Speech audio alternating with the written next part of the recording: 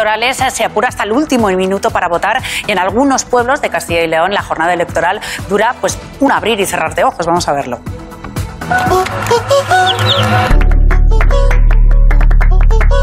Pilar, ¿qué tal? Muy buenos días. Hola Antonio, muy buenos Día días. de elecciones, pero cualquiera lo diría, qué tranquilo. Pues sí, mira, qué tranquilidad tenemos aquí. Porque ¿cuántos vecinos sois en Caravantes? 14. La jornada es muy larga, aquí todo se resuelve muy pronto. Eh, sí, la verdad que sí, porque eh, hay gente que por diferentes circunstancias no va a poder venir a votar, pero los votos fijos enseguidita los tenemos. ¿Podemos comprobarlo? Claro, vente conmigo. Buenos días. Ah, buenos días. ¿Y esto, Pilar? Pues mira, eh, nuestros vecinos que están aquí esperando ya para votar. Bueno, pues entonces venga, vamos Venga, para adentro. ¿no? adelante, vamos. Y yo lo veo ya, que están en la puerta todos esperando. ¿Puede comenzar la votación? Pues ya, pues ya. Pues, señores, que comience la votación en Caravantes. Pues nada, empieza Caravantes. Imagino que con el primer votante que vaya viniendo.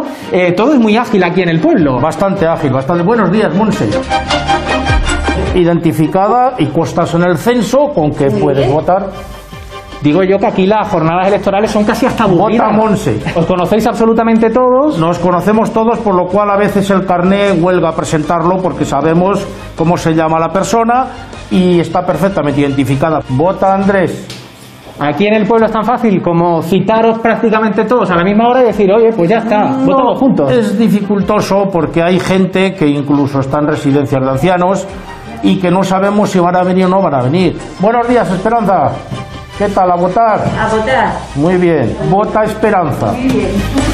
Ya está, ya está. Ya Pues está. yo claro, es decir, que los votantes aquí reunidos en Caravantes para ejercer su derecho al voto en este instante, un minuto 47. Pero si es que, que lo habéis resuelto todo súper rápido. ¿Será récord? No.